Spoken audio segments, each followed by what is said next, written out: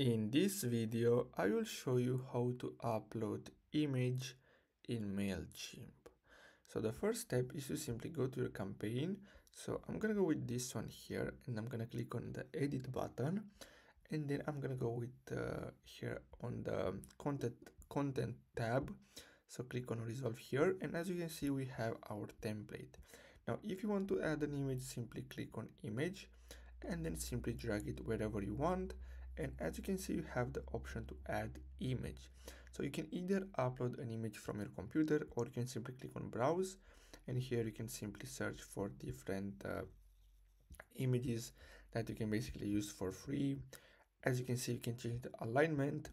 If you want you can also add a link to it. So uh, when someone clicks on it they're gonna get redirected to this link if you want. And you can play around with the settings here so basically that's all you have to do. Don't forget to like and subscribe. Thanks for watching